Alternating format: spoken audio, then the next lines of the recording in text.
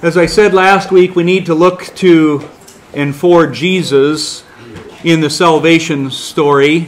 Um, when we look at Genesis, that is ultimately what it is. Like I said before, when we look at the book of Revelation, we think it's end times. When we look at Genesis, we think it's about creation. While those things are true, ultimately Revelation says it's a revelation of Jesus Christ.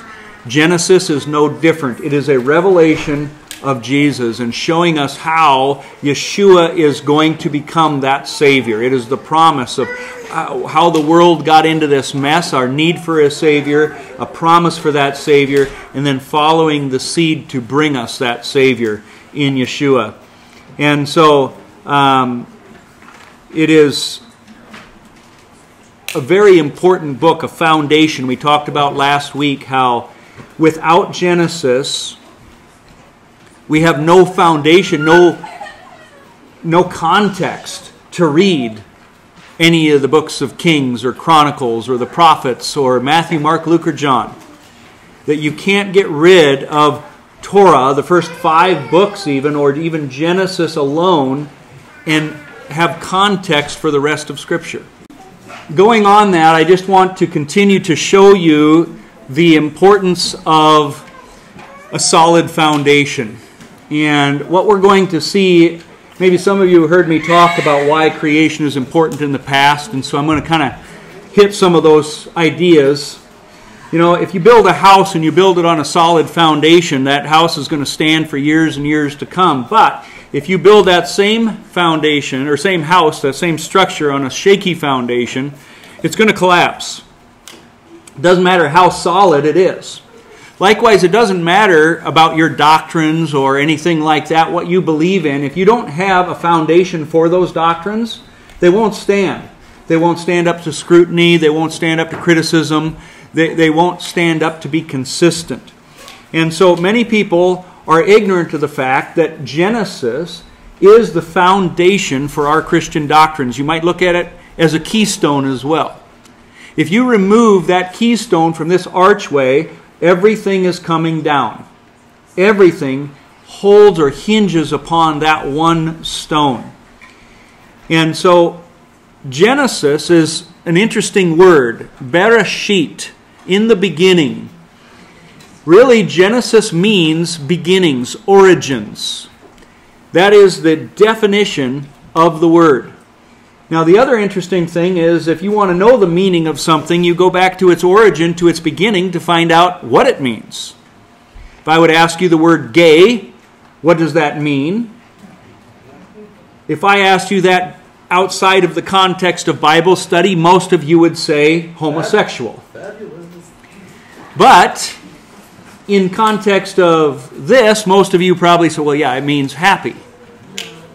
If we want to know what it really means, you look it up in a dictionary. The dictionary tells you the first use of that word, and now you have a definition or an origin of that word. It is no different for our doctrines. So if the meaning of anything is tied up in its origin, and Genesis means origin, the meaning of anything is going to be tied up in Genesis. Just some logic there. The problem is, is we have replaced Genesis as our keystone, and we've tried to put in evolution or humanism or liberal theology or any kind of other thing. Maybe a, a, a Genesis that isn't true history, but an allegorical Genesis. And when we do that, our doctrines cannot stand because we are left without a true, solid keystone. And we see the results of removing Genesis from our society, from our churches, from our culture, from our families. We see that around us today. Like I said, sometimes we've tried to replace that keystone with evolution. And that doesn't work because the most important doctrines of sin and the gospel are destroyed without Genesis being literal history. As I said last week, yes, there are allegorical uh, aspects to this historical book. No question about it. But you cannot deny its historical truth and accuracy, as we talked about last week. Because you see, the very fact that a creator exists literally means something. It means that he made you, he made me, he made all of us, and that means he has the right to set the rules for our life. If we decide to break those rules, then who are we going to be held accountable to? Our creator. But if evolution is true and that we are a product of chance by lightning striking primordial soup millions and billions of years ago, now who's going to tell us what to do? Who's the authority and standard for truth? You know, who gets to say what truth is? Well, you do, and you do, and you do, and you do, and as I say, that's a bunch of doo doo. Because now we have chaos. We have exactly what is going on in our society today. We all get to make up our own rules. We've all become narcissists. We get to decide. God doesn't get to tell us. You know, He created us. That's fine. You know, because we don't take it that seriously. Now I'm here, so we'll take it from here. We have man-made rules that govern our society today because there is no creator. We'll get into that a little bit more here in a minute, but as we were talking last week, that there are chiasms in Genesis. There are chiasms throughout the Bible all over the place. And when we went through the book of Revelation, we showed you all the connections with the beginning and the end and how these two fit together so perfectly. Uh, there's a division of light and darkness in Genesis 1 4. And there's no darkness in Revelation 21 25. You get rid of the darkness. There's a division of the land and sea in Genesis 1:10, and there's no sea in Revelation 21:1. And by the way, the Jews see the, the deep, the seas as an abyss and a, a place of evil, ultimately. The sun and moon are created in Genesis 1:16, but they're gone in Revelation.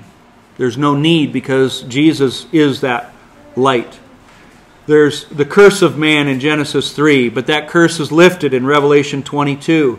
There are thorns in uh, Genesis 3:18, no thorns in Revelation 21 verse 4. Uh, the garden is prepared for man in Genesis 2:8 but a city, a perfect city in Revelation 21 2. There's a river of life in the garden, uh, flowing from the Garden of Eden in chapter 2, verse 10. And there's the throne of God and the tree of life in Revelation 22 1. There's gold in the garden paradise in Genesis 2:12. There's gold that you know are the streets of gold in Revelation 21 21. Precious stones in the garden, precious stones in the city. We see that God walks with man in both of them. We see man eats no meat in either one of them. We see that death begins in Genesis, it ends in Revelation. Evil is there in Genesis, but it's cast away in Revelation.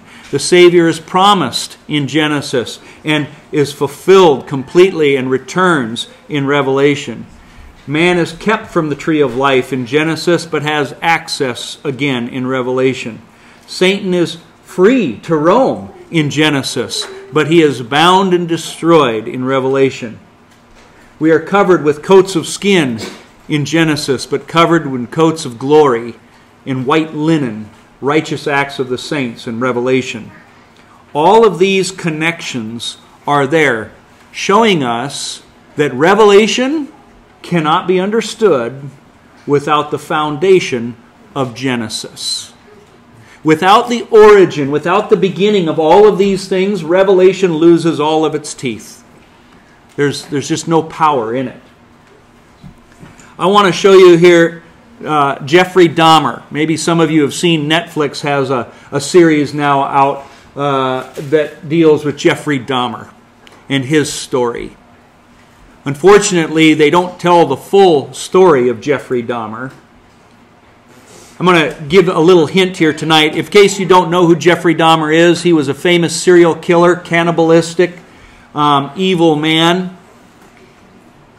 He killed a number of people. He's uh, basically what I'm going to do is rather than just show you this, I want to show you an interview that he did with Dateline, Stone Phillips, with he and his father, Jeffrey Dahmer and, and Jeffrey Dahmer's father. And I want to show you the importance of Genesis as a foundation for the gospel and understanding Christianity as a whole. So, watch this this video here. I feel it's uh, wrong for people who commit crimes to try to shift the blame onto somebody else, onto their parents or onto their their upbringing or, or living circumstances. I I think that's just a, a cop out, and uh, my parents, my relatives, had no knowledge of what I was doing. They're absolutely not responsible for any of it in any way, and. Uh, I take full responsibility. But you, but you understand that what you did would lead your father to ask himself all kinds of questions. That's true. Where, where I did I go that. wrong? Was there something I could have said or done to have prevented this? Right. Did I, in some way, create or contribute to the terrible acts my son committed? I understand that. I, I just get uh, angry with other people who, who think that uh, they have a right to uh, to somehow try to blame my parents for what happened. That's not right at all. No one has the right to do that because they're totally innocent. They had no knowledge of it. And uh, that angers me. But parents just naturally, I mean, any parent that really cares, they just first of all say, I, gee, I feel guilty. You know, I, there's just feelings of guilt. What happened? What did I do? What could I have done? And so that's a normal parental reaction. Your dad has wondered about all kinds of things, from the medication that your mom was on during her pregnancy, to the fact that you were exposed to violent arguments in the home from an early age and continuing, to the possibility that he might have passed on some genetic propensity for obsession or violent behavior. Does any of that ring true to you? I can see why he'd wonder about those things, but uh, as far as I'm concerned, they're all excuses because I didn't feel accountable to anybody. I didn't feel that I had to to uh, face what I had done ever, and uh, so you, you have there comes a point where a person has to has to be accountable for what he's done. Can't go can't go around making excuses, uh, blaming other people or other things. So I, I alone am the one who's responsible for what's happened. Let me ask, when did you first feel that, that everyone is accountable for their actions? Well, thanks to you for, for sending uh, that uh, creation science uh, material because I always I always believe the uh, the lie that uh, evolution is truth, the theory of evolution is truth, that we all just came from uh, the slime and uh, when, we, when we died, you know, that was it. There was nothing. So it, the whole theory cheapens life and uh, started reading books about how, that show how evolution is, is just a complete lie. There's, there's, no, there's no basis in science to, to uphold it. And I've come to, since come to believe that uh, that the Lord Jesus Christ is the true creator of uh, the heavens and the earth. It just didn't just happen. And uh, I have accepted him as my Lord and Savior. And I believe that I, as, long, as well as everyone else, will be accountable to him. Growing up, did you feel that you were accountable to your dad or to your mom as the authority yes, figure in the house? Yes, I did. I mean, they, they didn't let me uh, run wild. They were they disciplined me. And uh, so I felt accountable to them. But afterwards, after I left the home, that's, that's when I uh, started wanting to uh, sort of create my own little world where I could be the one who had the complete control, where I didn't have to uh, bow to anyone else's demands. And uh, I just took it way too far. Lionel? At that period of time, I had drifted away from a belief in a supreme being. And I never, as a result, passed along the feeling that we are all accountable in the end. He owns us. And that basic concept is very fundamental to to all of us. You feel that the absence, at least for a while, of a strong religious faith and Yes, belief For some years. may have prevented you from instilling some of that in Jeff. That's right. Is that how you feel? Yes, I, I think I had a big, uh, big part to do to do with it. I mean, uh, if you don't, if a person doesn't think that there there is a God to be accountable to, then then what's what's the point of of trying to uh, modify your behavior to keep it within acceptable ranges? Uh, that's how I thought anyway, and uh, I've since come to believe that uh, the Lord Jesus Christ is truly God uh, the Father, the Son, and the Holy Spirit. They're the only true God. That is what creation means. I have seen that countless times as I go and speak in prisons where the same type of understanding of the accountability to one who made them is like a switch that turns on. That all of a sudden they realize because Genesis is real, then so is accountability. So is the need of a Savior. And so, this is what I mean by Genesis being foundational. I'm in a creation ministry not because I love science, but because I know how important it is as a foundation for the gospel, a foundation for literally every doctrine I believe in. Marriage is founded in Genesis. As I said, the first marriage was Adam and Eve, not Adam and Steve. God set a standard of what it should be. He says the two become one flesh. You see, God's math and our math are a little bit different. Today in our society, we don't have an understanding of what a marriage is, so we think, oh, there's a man, there's a woman, they get married, there's still a man and a woman, they're two individuals, and we're going to treat each, you know, as two separate things. We're two different people. Is that what Scripture says? Is that what the standard was in Genesis for a marriage? Not at all. He says the two will become one. Malachi 2:15 it even says and why did I make them one? Because I was seeking godly offspring.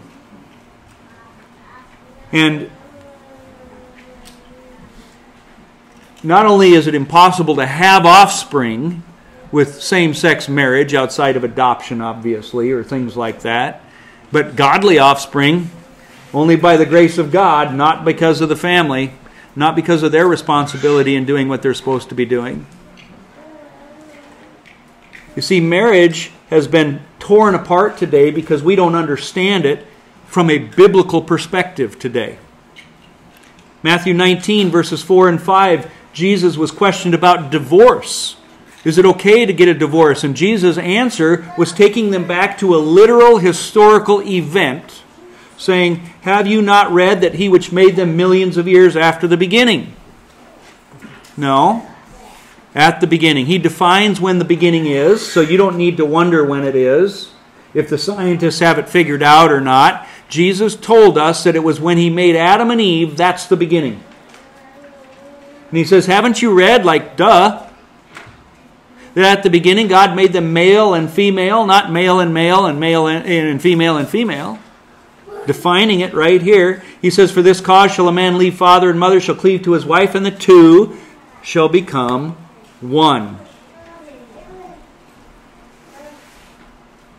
Today, kids, adults, they go sleeping around thinking it doesn't matter. It's just, yeah, I lost my virginity. I lost that a while back. It doesn't matter anymore. No, every time you're sleeping with somebody, you have become one with them. Now, I don't understand how all of that works, but I know what Scripture says and I believe it to be true. And there's a piece of you that is now missing because you have given a piece of you to somebody else. Our kids need to know the origin of a marriage. We got to just not stop, you know, just stop talking about only abstinence, but they need to know what's happening in sexual unity. 1 Corinthians 6 talks about this, and it says that, Do you not know that if you unite yourself with a prostitute, you become one with her? You go and sleep around, and you're sleeping with some ungodly person, you've just become one. Maybe with a demon possessed person. But see, we don't talk about these things in a marriage. We don't talk about them being real. We just see two people getting married, becoming two people, and then when they get a divorce, it's okay, they go off as two different separate people again. No harm, no loss. But no, God says, why did he says I hate divorce. Why? He says what God has joined together, let not man tear apart. What does that mean then?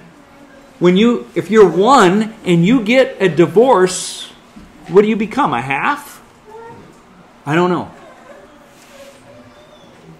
I'm not saying that there isn't forgiveness. I'm not saying that God even didn't, you know, He did give some reasons, acceptable reasons to get a divorce, but He says, I hate it.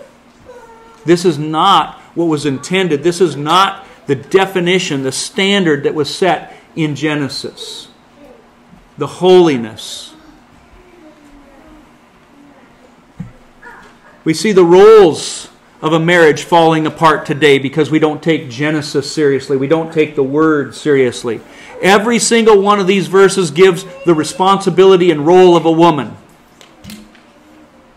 Every single one of these say that a role of a woman is to be submissive to her husband. Oftentimes I need to hide after I talk about that.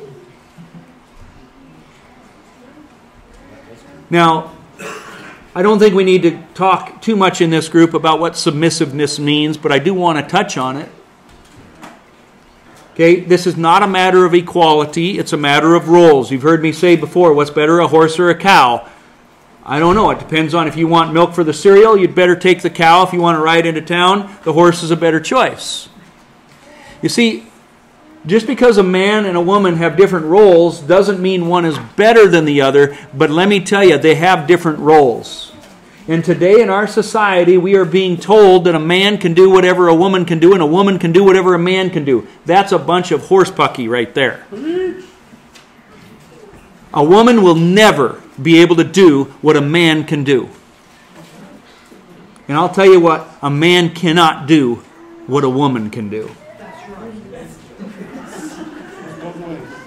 Not even close. I've seen Mr. Moms out there. Doesn't work, folks. There is something that God has placed in us to need a mother to. I, can't put it into words. I don't know how old I was when my mom died, 40 something. And there was something that I still just, it's like to this day, I feel like calling her when I'm driving down the road at times. There are things that a mother feels and thinks, and I, am still trying to figure out how my wife thinks. I, I, I, my brain can't do it. And men, we'll get to you in a moment, but for now, men need to be respected. You know, the Bible talks about men and women, and it says over and over and over a woman is to submit to her husband. Do you know there is only, I think, once, if not any, but I think there's one verse that mentions love for a woman to love her husband. Why? Because women don't need to be reminded to love. It comes pretty natural to a woman. Men, I'm still trying to figure it out.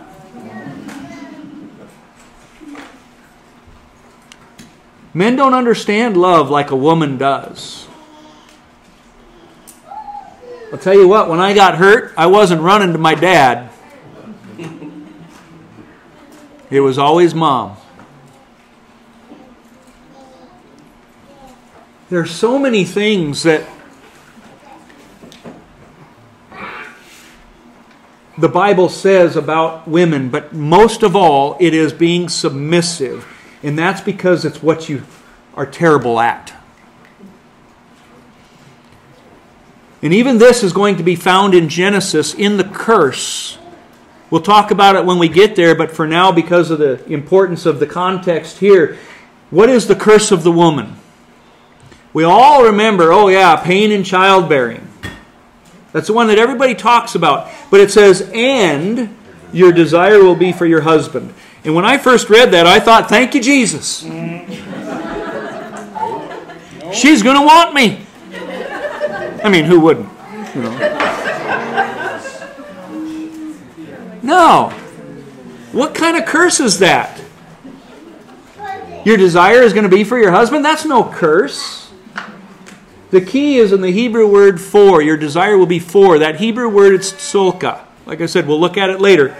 But the bottom line is it means to control. Your desire, women, is to control your husbands. And you do it. Whether you even realize it or not, you try to manipulate. And you've heard me talk in Genesis before about how you have the heart of the man. And you know that. And because of that, you manipulate with your emotions, you manipulate with your tears. And this is part of what God's Word says is part of the curse you are going to want to control your husband. You are not going to want him to rule. You're not going to want to have him have the authority to be able to tell you no, to be able to, you know, have permission to do things or that or whatever. We could go on and on. But only you know what's in your heart. But the bottom line is the Bible says that that has been given to you as a gift from Satan from the beginning. On the flip side, there's the men. Fathers to the children shall make known thy truth. Fathers, bring your children up in the nurture and admonition of the Lord. Fathers are to be the spiritual head of a house.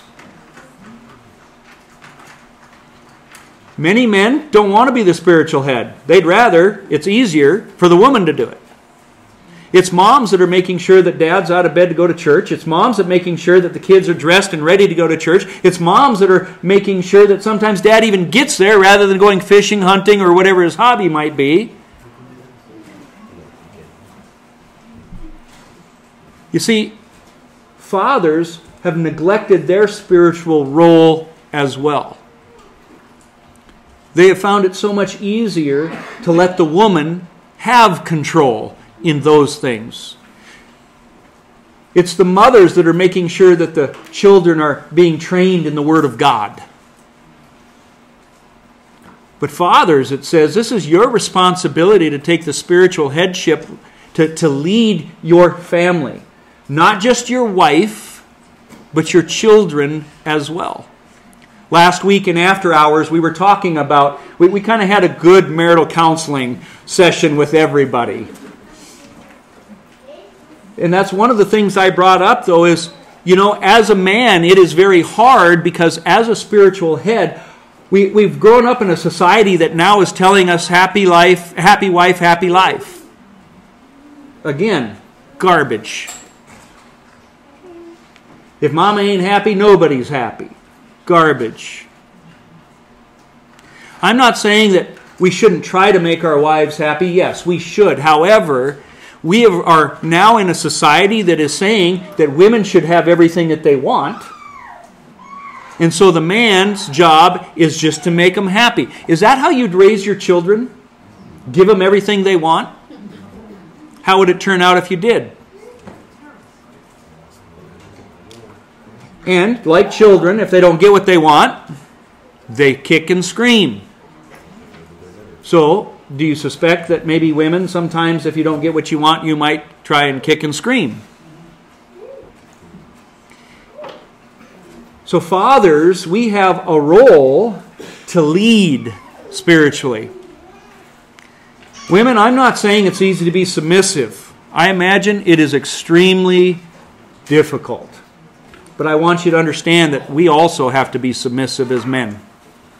Not to you, but to our Father.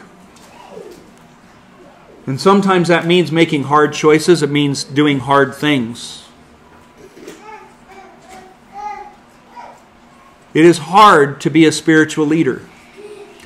I have failed miserably many times and in many ways in being a spiritual leader, and, and know that I will continue probably. And that's why, women, we need your prayers you were created as one of your roles, your primary role, to be a helpmeet to us because we need you. We're kind of slow. And we need your prayers. We need you to encourage us, to lift us up, to, to give us the respect, to, to do those things because on our own, we don't do it well. And we need that. You know, we're told in the Word in Ephesians, fathers, love your wives as Christ loved the church and gave himself up for her. I think that husbands, we need to, to really take that to heart because what did Christ come to do? He's, he's the model of what we're supposed to be. So did he come and say, hey, I want dinner at 6, rub my feet, do this, do that. Hey, how come the floors aren't clean? No, is, is that how Jesus loved the church? No, he said, and gave himself up for her. So I guess, fathers, what that means is that we don't just have a role of being a spiritual leader, but we have a role of loving our wives as Christ loved the church and gave himself up for her. That means we should be willing to not only die, but to be self sacrificing to our wives and for our wives.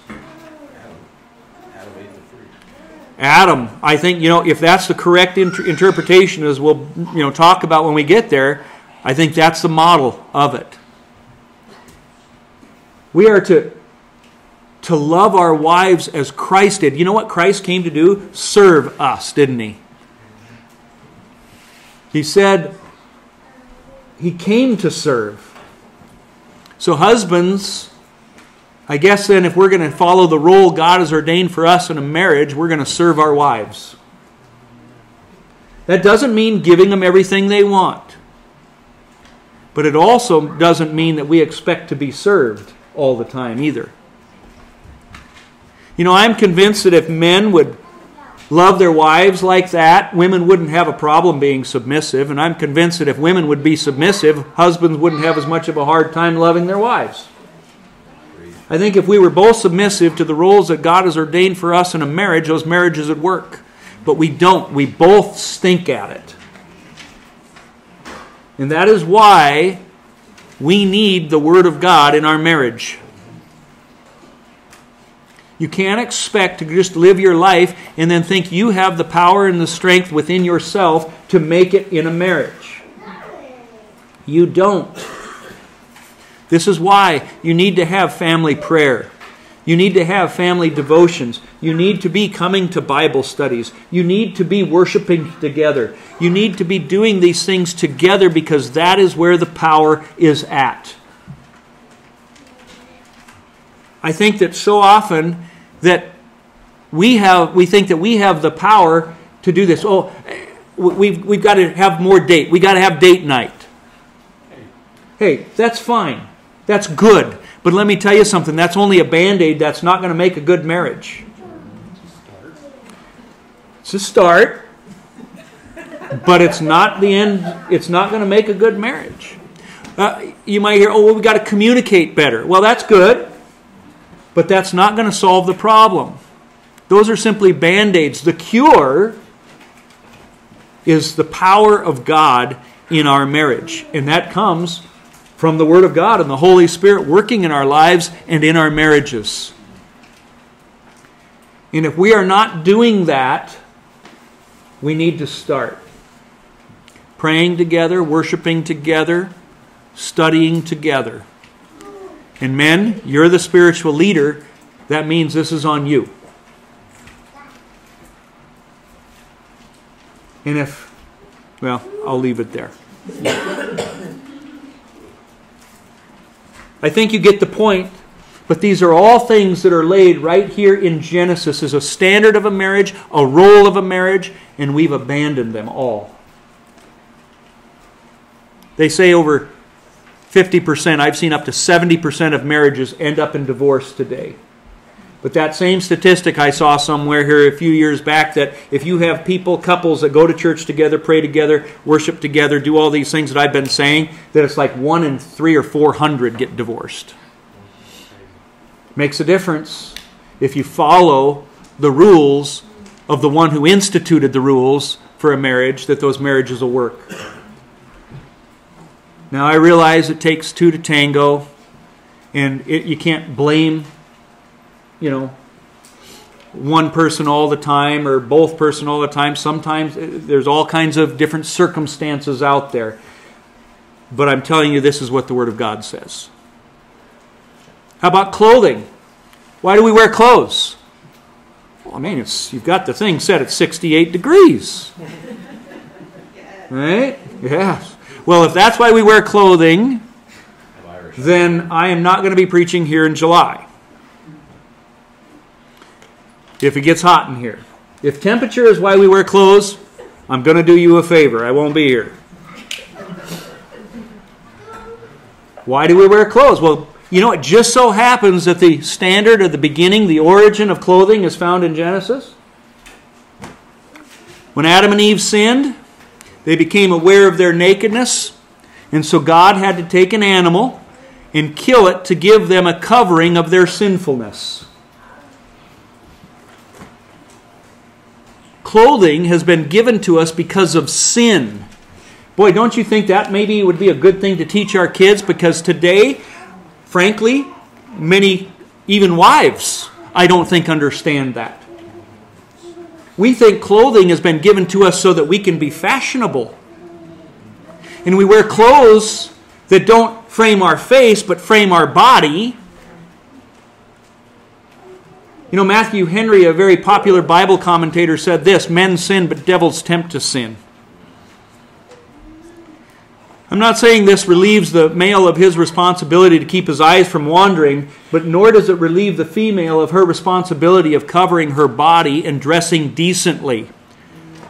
The New Testament even confirms this, and he says that I want women to dress decently, with modesty and propriety, not with braided hair, gold, pearls, expensive clothes, but rather with the beauty on the inside, he says in Timothy that of a gentle and quiet spirit, which is of great worth in God's sight. Today, the disgusting bridezillas on TV or the Kardashian, whoever they are, all of these people, the, the pastors of New Orleans or pastors' wives or whatever those shows are called that you see advertised, awful. A disgusting display of what a woman is supposed to be. It's a ring in a pig's snout. We have allowed culture to determine what the meaning of clothing is. Folks, it is not fashion. It is not fashion. It is for a covering. And that should be the number one thing you look at when you go and buy some clothing. Leaders of the household, men, what are you thinking when you let your daughters wear some of the things they wear? Shame on you. You see, there's a standard, a meaning of clothing, and it's given to us in Genesis, and it is because of sin, period.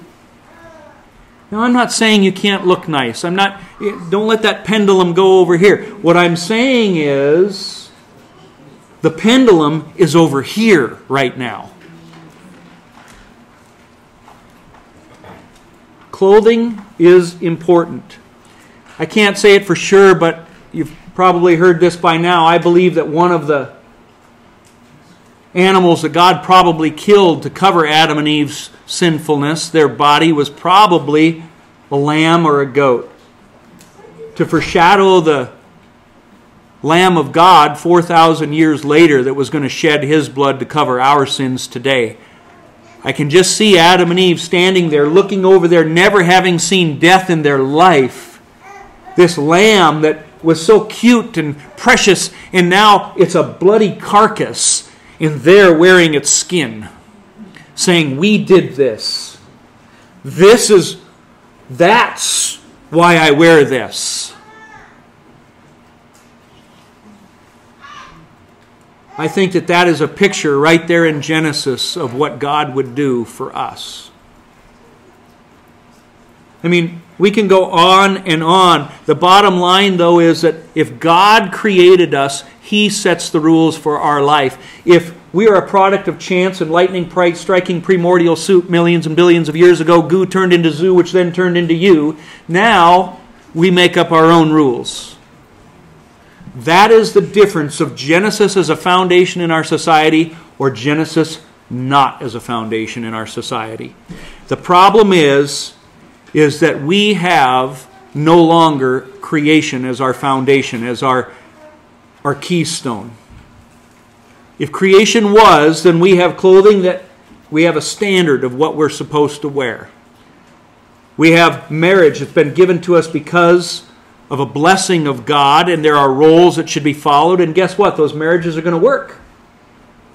You're going to have laws that are not just mere opinions, and so there will be no homosexuality and things like that going on because you have a standard of what marriage is supposed to be. You're going to have life that has meaning, a sanctity of life. There won't be abortion. But if evolution is your keystone, well, then I guess laws are mere opinions, so do what you want. Just, you know, don't bother me with it, as if it doesn't. You're going to have homosexuality as a legitimate option for marriage. I mean, really, if creation isn't true, then it is an acceptable alternative. Pornography? Go for it. What's the difference? Abortion? You're just an animal anyway. Why not? Some people think, oh, you can't say abortion in Genesis. I mean, you, you, that's a stretch. Is it really? I've, I've told you before that I have met women who have shared with me who went through with an abortion because their doctor said that it wasn't a human being yet. It was just an amphibian in that stage of development. It's just a fetus, not a child. I had one woman share with me how her daughter or, son, I don't remember which, uh, when they went to a doctor, they had a birthmark, and the doctor said it's where her gills had not healed up all the way because they have what are called gill slits in the womb. A very improper name. They are not gills, they are not slits, they're wrinkles that turn into the jaw, the gland, and the ear. They have nothing to do with breathing at all. But because of these things, there's no value in life. They, they kill their babies. Today, we have made abortion and, and killing, murdering babies the logical arguments we use, or I should say, illogical arguments we use to support murdering children, is detestable and an abomination in God's sight. We hear people saying things like, oh, well, I'm against abortion, but you know, this family, they've already got 12 kids, and I mean, look at the job they're doing. It's a terrible job of parenting already. They can't afford, I mean, look, they're running around like ragamuffins. They, they, they don't have enough food. I mean, man, they come over to my house and they just chow everything down. And it's like, you know, I'm against abortion, but I'll tell you, I just don't think this, this family should have that many kids. They'd be better off not being in that family. So you mean that the condition they're born in determines the sanctity of life? I mean, think of the logic of that. You, you can't afford kids, can't afford that many. What happens when your high schooler comes home and says, Mom, Dad, I'm broke, I don't have a job, I need money? Says, Well, I don't have any more either, but I want to go to the movie. Sorry, kid. can't afford you anymore. I mean, it would be the merciful thing to do, right? I mean, you can't go to the movies. Yeah. Same logic, though. How about location? Oh, it's, it's, it's a baby when it's outside of the womb, but when it's inside of the womb, even moments before it's born, it's not a baby because of location. You better be careful about what side of bed you, you wake up on or what side of the road you walk down on. If that's what determines the sanctity of life. It's not even location. You talk to one mother who wants the child, it's a baby. You talk to the other mother, it's, it's opinion is what it is. That's right. Is it a baby? What is it? Is the question that is always asked. What is that? They keep calling it a fetus. We call it a child. Okay? It is a child. I mean, if your neighbor kid comes home and says, hey, you know, comes into your house and say, hey, can I kill this? What are you going to ask him? What is it? What? A spider? Yeah, step on it. A mouse? Yeah, kill the thing. Okay? The neighbor kid? No! it's kind of important to know what you're killing. And that's why they don't like ultrasounds. They don't like those things because they don't want you to know that that's a child. And so they change all these, the verbiage of a fetus or pro life versus pro choice. So if it's somebody that wants their baby, they're not going to say, "Oh, when is your fetus due?" Yeah, yeah, yeah, let's go. When's your fetus due? Okay? It isn't a matter of pro life and pro choice. They make it sound so nice. It's pro death and pro life. Because God says that there is a meaning in it. Uh, again, the purpose of a marriage, to have godly offspring. It's life. Psalm 51 5. Surely I was sinful at birth, sinful from the time my mother conceived me. From the moment of conception, God knew you were in need of a Savior. Now, I don't know if this is true or not. I haven't been able to confirm it, but my wife showed me something the other day that they, they show that when sperm meets the egg, at the moment that happens, there's a light that goes off, like light. I, I, I think it's true. I just can't, you know, I'm not going to stake my life on it right now. The moment of conception, Scripture says, you are living. So, no, these are not gill slits. They're just wrinkles. And I've seen a, a, lot of guys with a lot of wrinkles and they can't breathe out of any of them but the top two. Just because there's similarities doesn't mean it has the same function or it is the same thing. But you think it's a stretch to tie evolution into abortion? Let me show you what they say. This is what, when I was uh, in Latimer, Iowa, there were 27,000 students at Iowa State University being taught this.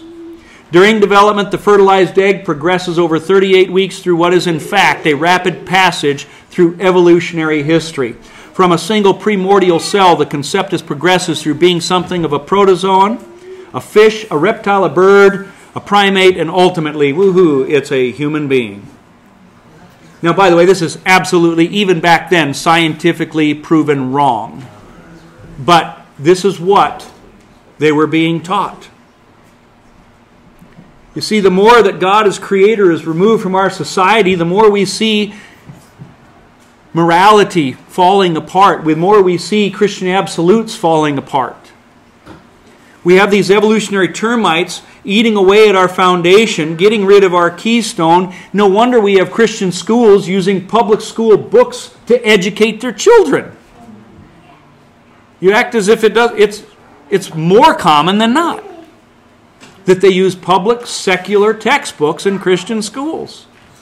Or we have Christian politicians claiming to be Christians yet ruling the things, you know, making rulings on the things that they do. Because we have a uh, we've added God to a secular philosophy, a secular foundation, one without Genesis as its foundation. You get rid of Genesis as your foundation, this is what you get. You may have seen this before.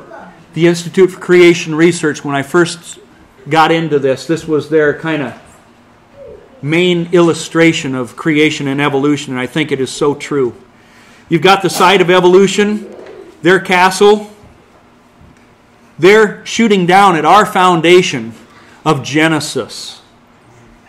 Because they know if that keystone, that foundation falls apart, everything comes down.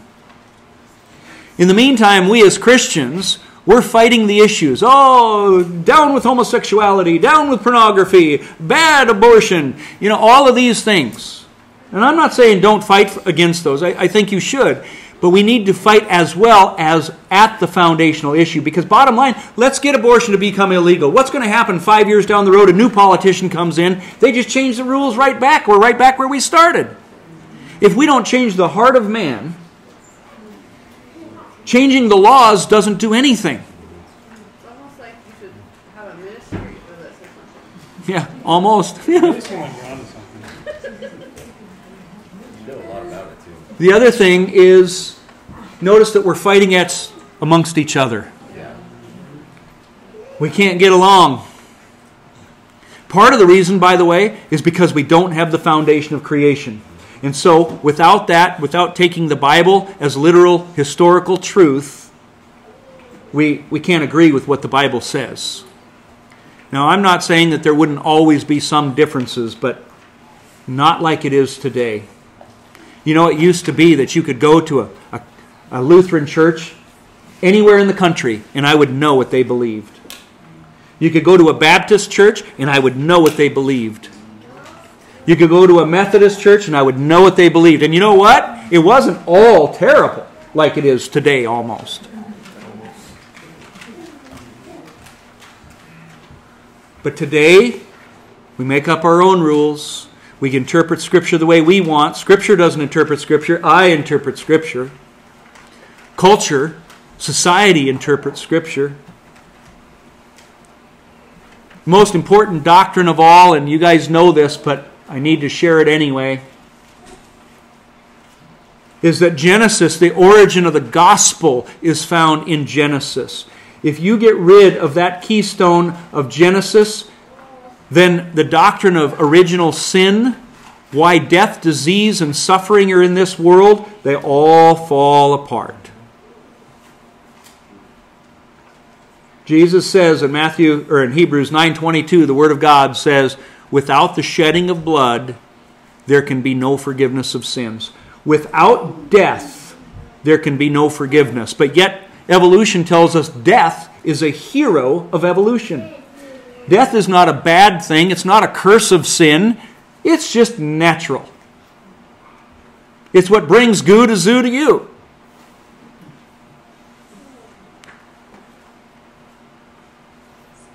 Guys, if you allow millions of years into your theology, logically, what you are allowing is death to be in a world before man was here.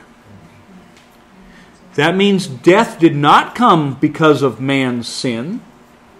Death is not the wages of sin. Death is not a curse of sin. It is natural the dinosaurs, the fossil record that was all here before man was on earth. Death is not what the Bible says it is. And if that's the case, and death is not what Scripture says it is, it's just natural, then Jesus' death would also be natural. It has no supernatural power. Jesus' death on the cross cannot take away sins. He could have stayed up in heaven and pronounced forgiveness from his throne, saved himself a lot of trouble. But no, he came to do that just as an example for us so that you would know how you're supposed to live your life for others. Be willing to die for them. That's what they say. But the very fact that the earth is young, the Genesis' is literal history tells me that death is the curse of sin, and that's why Jesus came to die, to take the curse upon himself so that we might live. Thorns. You know, we find thorns 410 million years old in the fossil record. How can that be? That's long before humans, in their theories. The Bible says thorns are a result of the curse, evidence of the curse. So you can't have the curse without man, without man sinning.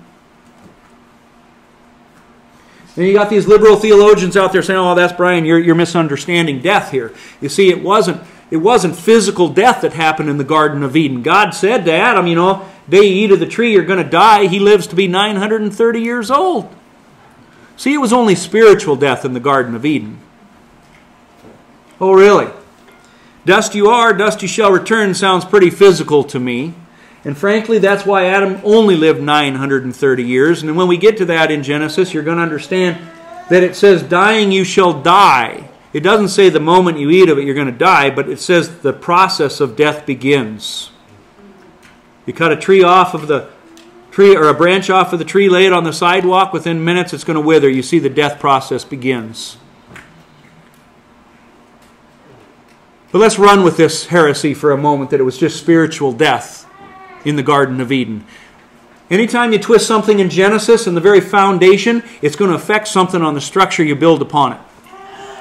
So now you go to the New Testament, and we see Jesus talking about this and Paul talking about this. He says that by one man death entered into the world. Let's run with the heresy, spiritual death. By one man, Adam, spiritual death came into the world. So also by one man, Jesus Christ, comes the resurrection of the dead. What kind of resurrection? Spiritual. You see, we see a historical connection to a literal Genesis saying that there was a literal death that is going to, a physical death that's going to bring a physical resurrection. So, if it was only spiritual, then there's only a spiritual resurrection. That's what the Sadducees believe.